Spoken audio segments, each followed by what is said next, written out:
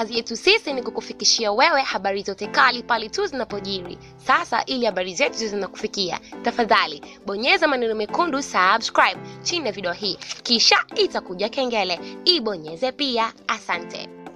Wabunge wanne wa Bunge la Jamhuri ya Muungano wa Tanzania tumeamua kupungua kesi ya kikatiba Mahakama Kuu ya Tanzania masjara ya Dar es Salaam ili mahakama itupe tafsiri ya kisheria juu ya mipaka ya kinga ya mdhibiti na mkaguzi mkuu wa hesabu za serikali pamoja na mamlaka ya spika wa bunge kuweza kumshtaki mwananchi bila kuathiri uhuru wa maoni kikatiba.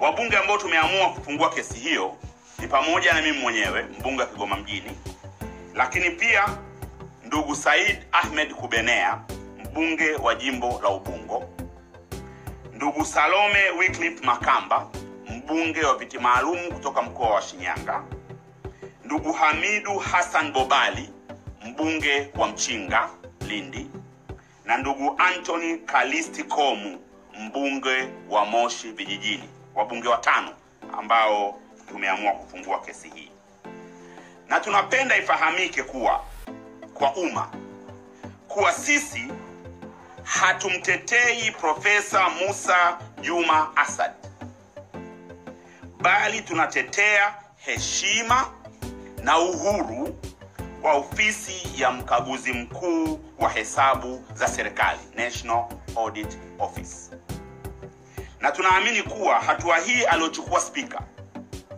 Spika Ndugai ikiachwa itaweka misingi precedence mbaya kwa mdhibiti na mkaguzi mkuu wa hesabu za serikali kuingiliwa uhuru wake na taasisi mbalimbali kinyume na katiba, na naomba kusisitiza hilo.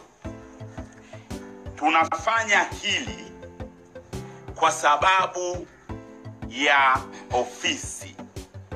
Na siye mtu aliyepo ofisini na baadhi yetu rekodi zetu ziko very clear. Mwaka elfu mbili na kumi na moja bunge lilianza kumjadili CAG Uto kufuatia ishu ya kinajairo likiazimia kwamba CAG Uto aondolewe kwa sababu taarifa yake ilionekana kwamba imemsafisha Jairo.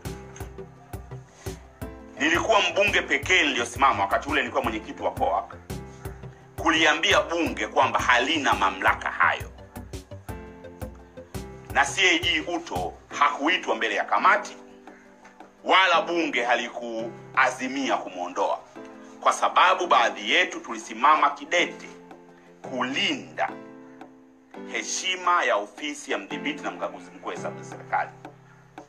Na leo hii mimi pamoja na wenzangu, hao wenzangu wote ni wabunge wapya temu ya kwanza mimi ndio mbunge mkongwe katika hawa.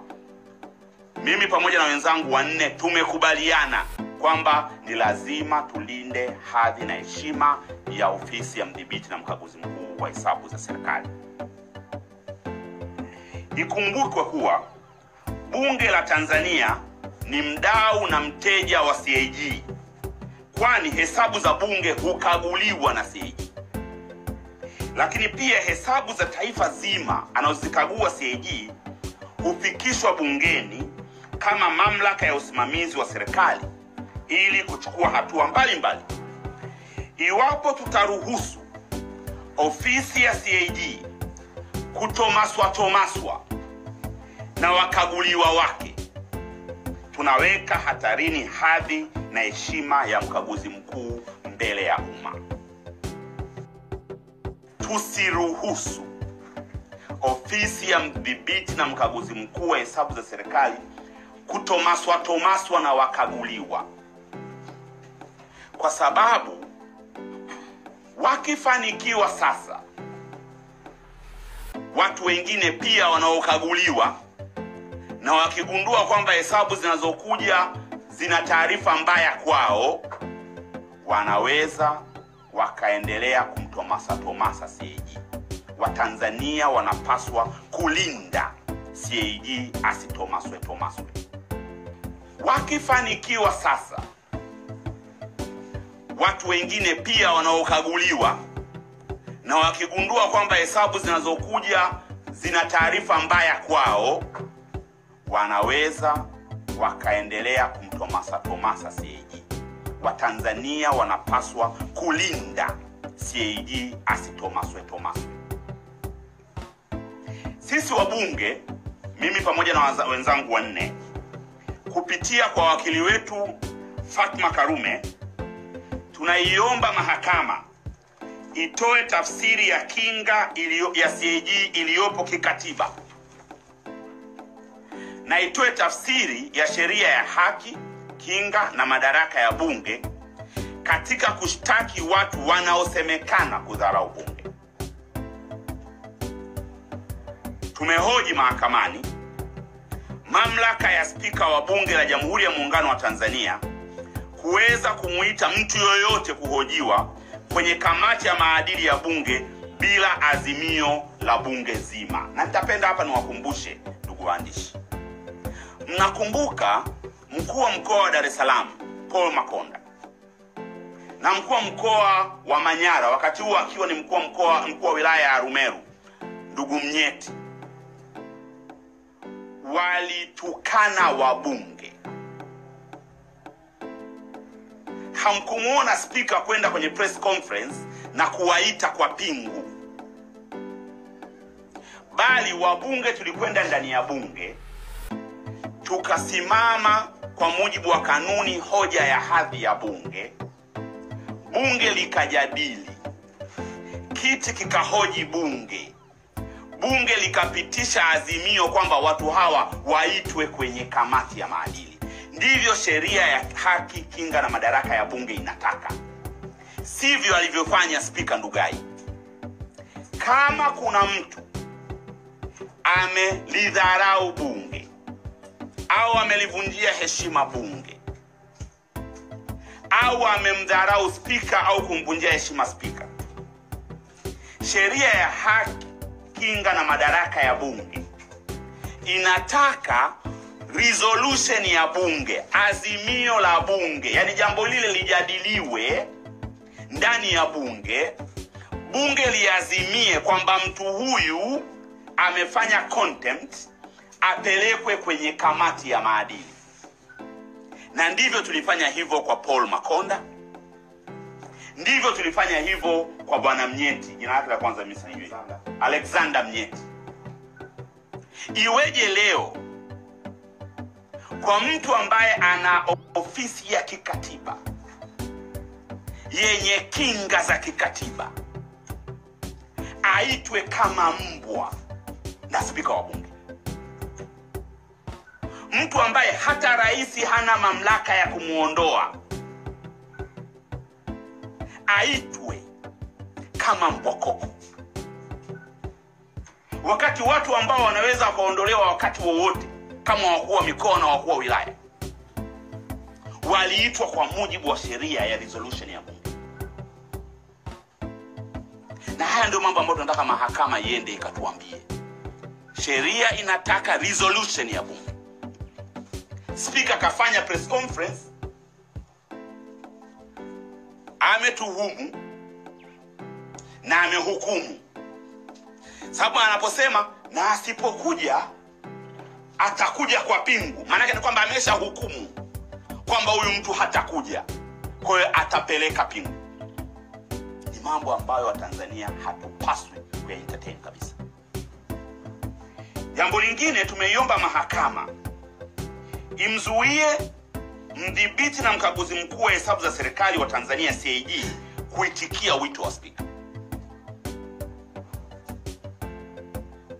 Profesa Musa Asad kama Musa Asad anaweza kwenda kwenye kamati ya bunge, lakini CAG wa nchi hii hawezi kwenda kwenye kamati tunaitaka mahakama imzuie CAG wa nchi hii kwenda kwenye kamati ya bunge kwa sababu ya ulinzi wake wa kikatiba na naomba ili mlielewe vizuri tunatetea na kulinda hadhi ya mdhibiti na mkaguzi mkuu wa hesabu za serikali. Sasa kama Musa Juma Asad anaweza kujigawa kati ya Assad na CAG, ajigawe. Lakini kama CAG akienda mbele ya kamati ya bunge, sisi tunaamini anavunja katiba na tutamshtaki, na ndio maana tumeitaka mahakama imzuie kwenda. Lakini pili, tumeiomba mahakama kuu imkataze spika kutekeleza wito wake kwa mdhibiti na mkaguzi mkuu wa hesabu za serikali kwa kuwa ni kinyume na katiba. Hayo ndio maombi yetu makubwa. Utaratibu wa kuitwa kwamba kwa mujibu wa sheria ya haki, kinga na madaraka ya bunge, kwa kosa alilolitaja spika la contempt, unahitaji resolution ya bunge, na pili mahakama imzuie CAG kwenda mbele ya kamati ya bunge kwa sababu ya sababu za kikatiba, na mahakama imzuie spika kutekeleza wito wake huo, kwa sababu akitekeleza atakuwa anavunja katiba. Tumemwagiza wakili wetu Fatma Karume kuisajili kesi hii chini ya hati ya dharura, na tunaiomba mahakama itazame jambo hili kwa muktadha mpana, kwani ni kesi yenye maslahi makubwa kwa umma, na madhara yake ni kwamba jambo hili likiachwa, ipo siku pia jaji mkuu anaweza kuitwa mbele ya kamati ya haki, kinga na madaraka ya bunge kwa maoni yake kutokumpendeza spika. Tukiacha CAG aitwe na aende, madhara yake ni kwamba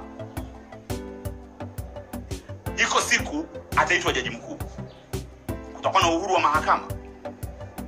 Na haya ndio mambo ambayo sisi kama wabunge watano, mimi pamoja na wenzangu wanne, tumeamua kuyapeleka mahakamani ili kupata tafsiri ya mahakama. Maki tumeona bush lawyers wengi tu, kila mtu anatoa maoni yake. Ni muhimu mahakama iweze kutoa tafsiri ya hizo kinga ambazo zinazungumzwa.